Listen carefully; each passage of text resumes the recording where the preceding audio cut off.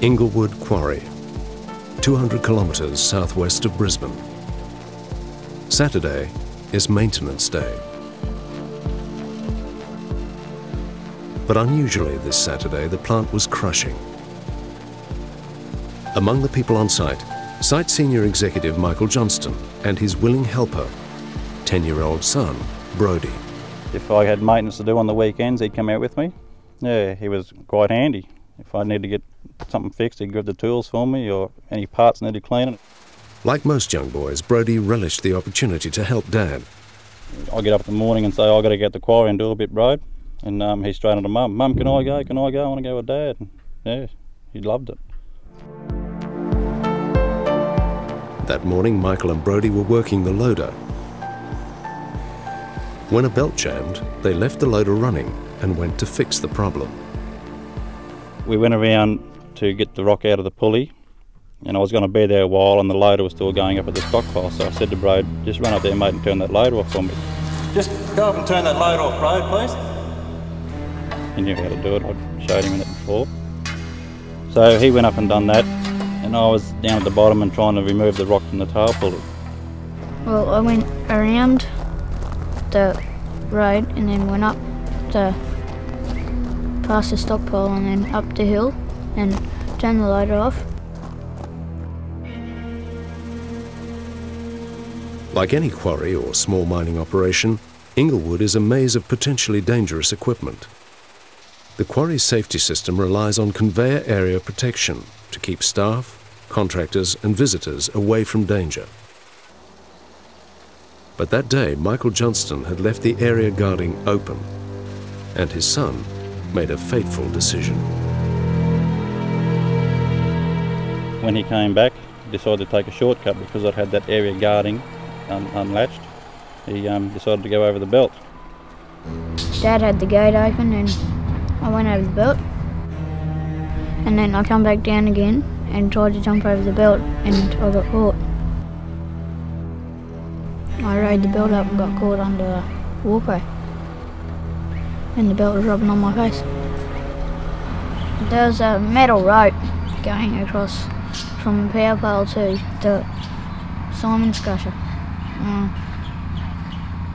I should have grabbed onto it, but it just went past too quick and then I was trying to push my head out with my hands.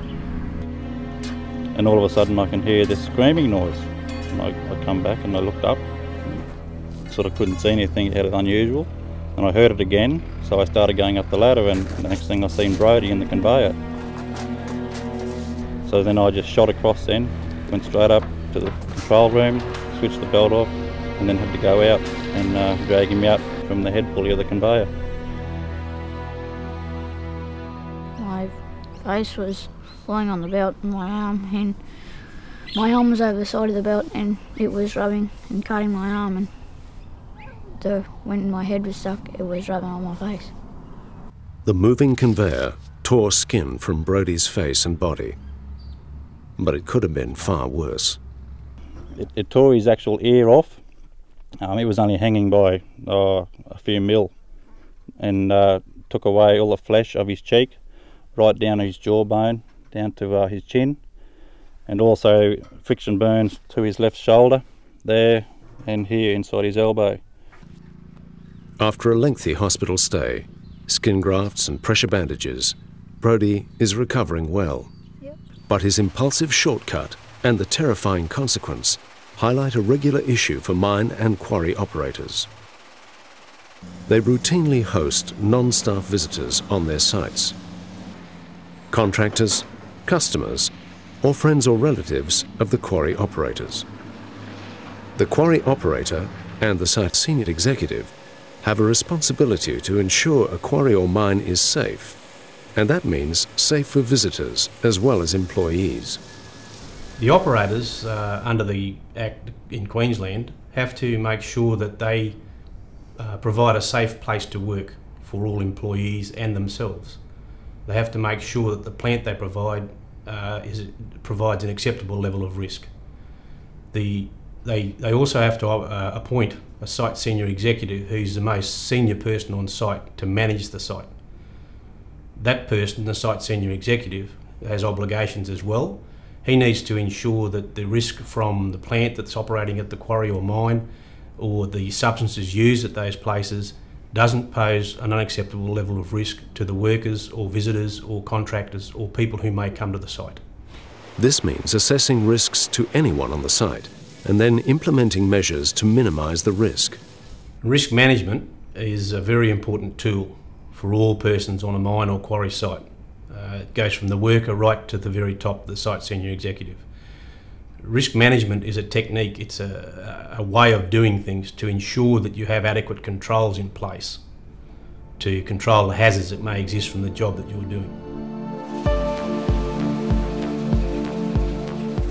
At the time of the Inglewood accident, these fences provided conveyor area guarding as recommended by the Australian standard, except that the fence panel where Brodie crossed wasn't locked and there were no interlocking devices installed. Once he crossed the fence line, he was completely unprotected. On the day, uh, I should have isolated that belt. I, um, because I was in a rush, getting around to the bottom conveyor to try and get the plant going again, I didn't isolate the belt and left the guard open, unlocked. That should have been followed. Procedures should have been done. Uh, I was a bit lax. Um, I've also completed a course in risk assessments, risk management, and uh, communication, and incident investigation skills for if anything happens again. There are many dangers in a quarrying environment. Conveyors and crushing equipment need to be thoroughly guarded, with the dangers signposted. There should be highly visible, easily accessible emergency stop buttons for every piece of equipment.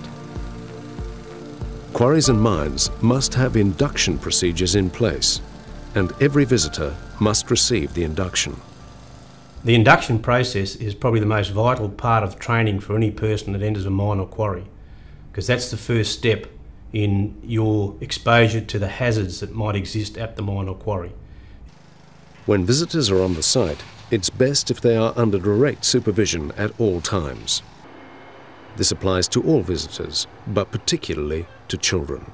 Parents need to be aware that the hazards on any particular mine site or quarry, and they need to make sure that their children are either with them or in a safe place, either in the cabin of the truck if they're in a truck, or in the vehicle if they're in a car or, or other mode of transport. But they make, need to make sure that at all times they're supervised and they know where they are, so they're not wandering off into areas where it may be unsafe with my own children. Um, I just take them through and explain the dangers of the of the conveyors and the crushers, um, to what to stay away from, and always stay with the adult. Don't wander off. I'm always telling my boy in that, don't go away where I can't hear you. If, if you're yelling out, I've got to be able to hear you, and basically be in sight where I can see you around the, the area. Brodie Johnston's adventurous and dangerous shortcut was easily preventable. The means to protect him were installed, but the safety system failed because a gate was left open. Effective safety in quarries and small mines involves a physical safety system. And it requires operators to set and follow procedures to ensure that a brief lapse doesn't invite heightened risk onto the site.